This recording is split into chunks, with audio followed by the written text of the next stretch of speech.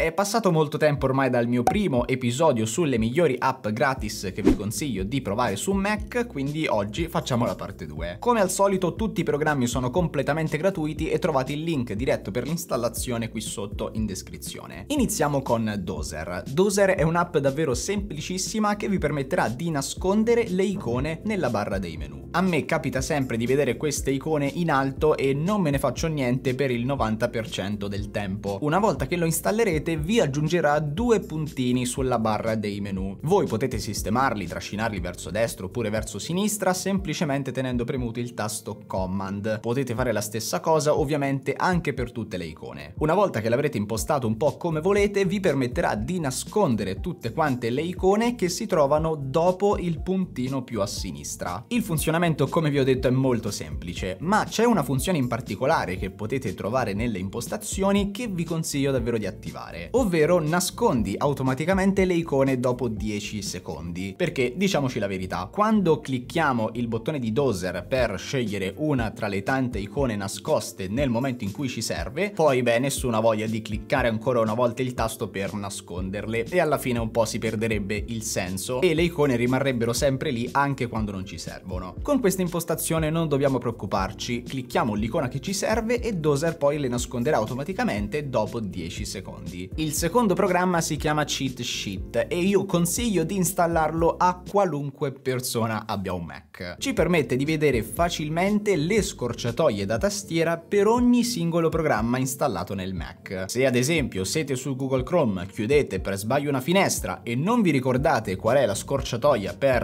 ripristinarla, tenete premuto il tasto Command e Cheat Sheet vi mostrerà tutte quante le scorciatoie da tastiera per quel programma. Sono organizzate molto bene tra l'altro e c'è anche la possibilità di cliccare l'opzione direttamente con il mouse, ma direi non è proprio questa la funzionalità più utile. Come vedete funziona bene anche su Photoshop e su tantissimi altri programmi. Provateci anche voi, la prossima volta che dovete creare magari un nuovo documento, salvare qualcosa, non utilizzate il mouse. Se non vi ricordate la scorciatoia, cliccate il tasto Command, guardatela con cheat sheet, imparatela e iniziate ad usarla fin da subito e vedrete che una volta imparata a memoria risparmierete tantissimo tempo.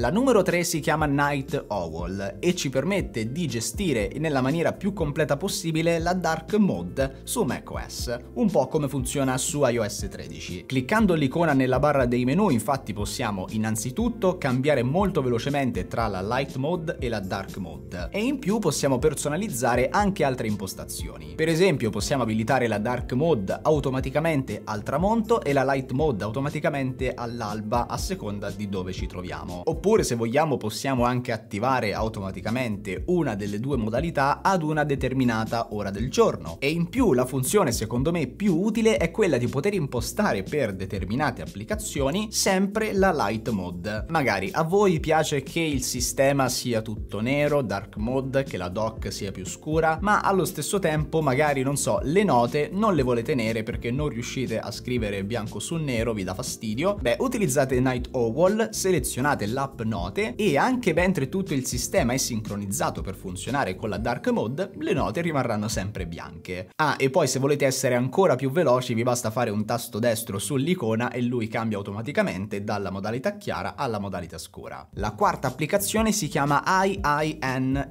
Player o INA in italiano ed è uno dei migliori player che io abbia mai provato su Mac e tra l'altro è quello che sto utilizzando in questo momento. Funziona meglio secondo me anche del più famoso famoso VLC apre qualsiasi tipo di file ma è più veloce, più scattante, anche più moderno per quanto riguarda il design, in più ha tante funzioni utili. Per esempio possiamo mandare avanti e indietro velocemente un video con le frecce direzionali oppure possiamo cambiare tante impostazioni per quanto riguarda il video come per esempio aumentare la saturazione, la luminosità o magari ruotarlo, cambiare il rapporto e la risoluzione di un video e lo stesso vale per l'audio, possiamo modificare varie opzioni, c'è addirittura addirittura un equalizzatore per gestire proprio al 100% l'audio. Possiamo velocizzarlo, rallentarlo, fare tantissime cose. In più, personalmente io lo uso anche per tutti i file audio, MP3, Wave fa lo stesso e in generale io lo trovo il miglior player, funziona bene, fluido, finora non ha mai fallito con ogni tipo di file. Ora passiamo a Numi. Numi è stata davvero una scoperta fenomenale. Sembra un normalissimo taccuino di note ma fa molto molto di più. È una calcolatrice calcolatrice molto più intelligente. Sicuramente capirete in generale il funzionamento con il video che trovate sul sito ufficiale, ma vi spiego in breve cosa fa. Può svolgere tantissime cose, conversioni, somme, calcoli e tutto mantenendo una logica molto semplice e tra l'altro anche in italiano perché sì, supporta anche la lingua italiana. Per esempio potrei trasformare 20 kg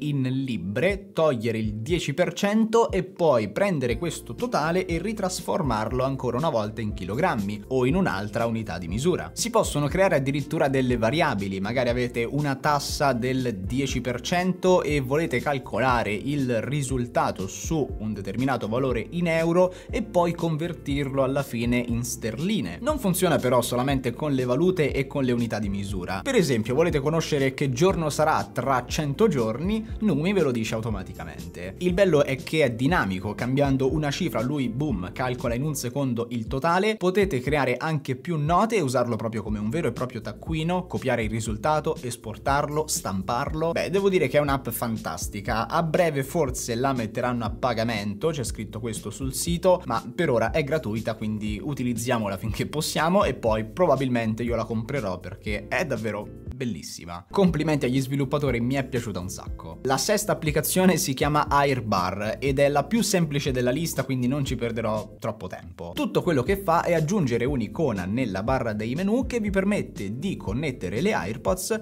con un clic. Basta. In pratica fa quello che manca con le AirPods. Se avete un Mac come me e anche le AirPods dà un po' fastidio non poterle collegare velocemente come si fa invece con tutti gli altri dispositivi Apple, magari un iPhone o un iPad. È un po' scomodo. Mentre qua prendete le AirPods, le mettete alle orecchie, cliccate il bottoncino lassù e boom, connesse in un colpo solo. E siamo arrivati all'ultima applicazione, forse la più utile di tutte. Ormai non so davvero quanti messaggi mi siano arrivati con scritto Fede, ma come hai fatto ad avere Google Calendar nella doc e ad utilizzarla come fosse una vera e propria applicazione? L'ho fatto utilizzando proprio quest'ultimo servizio, chiamato App Maker Web to Desk. In realtà non è una vera e propria app, è un sito internet che tra l'altro funziona anche con Windows e Linux, però vabbè, è anche per Mac, quindi ho deciso di metterlo in questa classifica. Il funzionamento tra l'altro è semplicissimo, vi basta copiare il link del sito che volete trasformare come app. Io vi faccio vedere come ho fatto proprio con Google Calendar. Come secondo passaggio dovete poi scrivere il nome dell'app, quindi io scrivo Google Calendar, voi scrivete quello che volete. Dobbiamo poi scegliere un'icona, lui cercherà di impostarla automaticamente, altrimenti vi basta andare su Google Immagini, prendere una qualsiasi icona, caricarla e boom, avete impostato anche l'icona. Inserite la vostra mail in cui riceverete un link di backup per il download dell'app, scegliete la piattaforma, ovviamente in questo caso seleziono macOS, e poi se volete potete anche attivare questa spunta per disattivare la pagina di AppMaker Web to Desk. Io non ve lo consiglio perché costa 19 dollari. Tutto quello che fa è risparmiarvi quei 3 secondi di schermata quando lanciate un'app creata con Web to Desk. Secondo me non ne vale la pena, poi fate come volete. Cliccate poi su crea app e lui inizierà tutto il processo automatico di creazione. Potrebbe volerci qualche minuto a seconda della grandezza del sito e dell'app che volete creare e poi vi darà la possibilità di scaricare un file zip. Una volta scaricato vi basta solo estrarlo, all'interno troverete direttamente l'applicazione Google Calendar, in questo caso da trascinare nella cartella applicazioni del Mac ed ecco qua Google Calendar perfettamente funzionante sotto forma di applicazione. È davvero utile poter usare un servizio del genere in maniera completamente gratuita. E questa era anche l'ultima app del video di oggi. Io ovviamente come al solito spero che vi sia stato d'aiuto. Fatemi sapere ovviamente se volete altri episodi del genere con altre applicazioni lasciando un bel mi piace e invece se conoscete altre app che non ho nominato in questo video ovviamente fatele conoscere anche a me con un bel commento qua sotto. Detto questo da Fede Tutorial è tutto, grazie per la visione, noi ci becchiamo come sempre in un prossimo video.